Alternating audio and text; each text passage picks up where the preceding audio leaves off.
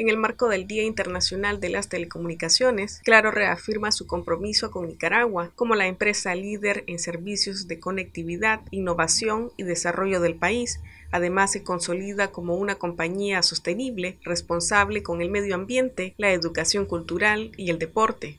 La empresa se posiciona como la única compañía de telecomunicaciones con cobertura en todos los departamentos del país y pionera en introducir tecnología en las comunidades de la región autónoma de la costa caribe norte y sur del país quienes disfrutan de los beneficios en navegación, telefonía móvil, fija, televisión, entre otras. Conectamos a Nicaragua con el mundo de manera fácil, rápida y segura es por esto que Claro celebra el Día de las Telecomunicaciones, bajo el compromiso de continuar trabajando para llevar lo mejor en conectividad, innovación y servicios para nuestros clientes en cada rincón de nuestro país.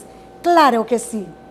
El Día Mundial de las Telecomunicaciones y Sociedad de la Información se declaró en el año de 1969 para celebrar la fundación de la Unión Internacional de Telecomunicaciones y en noviembre del año 2005 la Empresa General de las Naciones Unidas consolidó el 17 de mayo de cada año como el día oficial con la finalidad de divulgar la importancia de las tecnologías de la información y la comunicación en el mundo.